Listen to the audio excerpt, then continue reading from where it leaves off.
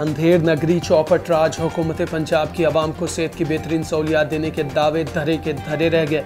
सरकारी अस्पताल फारूकाबाद में मुबैना, रिश्वतखोरी का बाज़ार सरगर्म।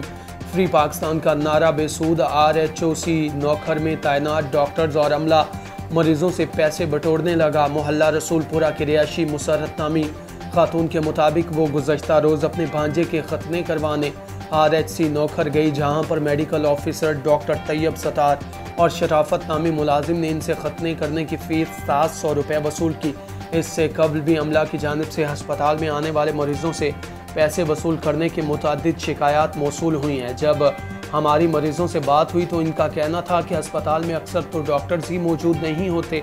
हाँ, तो बदतमीजी की मेरे माता जी ने ਜੀ, ਮੇਰਾ ਨਾਮ ਗੁਲਾਮ ਅਬਾ ਸਾਹਿਬ, ਮੈਂ ਅੱਜ ਸਰਕਾਰੀ ਹਸਪਤਾਲ ਫਰੂਕਾਬਾਦ ਦਹੀ ਮਰਾਕਤ ਸਿਹਤ ਦੇ ਵਿੱਚ ਗਿਆ ਜਨਾਬ। ਮੇਰੇ ਬੱਚੇ ਦੇ ਕੱਲ ਖਤਨੇ ਹੋਏ ਸੀ ਤੇ ਉਹਨਾਂ ਨੇ 700 ਰੁਪਇਆ ਲਿਆ ਜਨਾਬ। ਜਦ ਕਿ ਮੇਰੇ ਘਰ ਵਾਲਿਆਂ ਨੂੰ 500 ਰੁਪਇਆ ਦੇ ਰਹੇ ਸੀ ਤੇ ਉਹਨਾਂ ਕਹਿੰਦੇ ਜੀ, ਹੁਣ ਇਮਰਾਨ ਖਾਨ ਦਾ ਦੌਰ ਹੈ, ਮਹਿੰਗਾਈ ਬਹੁਤ ਜ਼ਿਆਦਾ ਹੋ ਗਈ ਹੈ।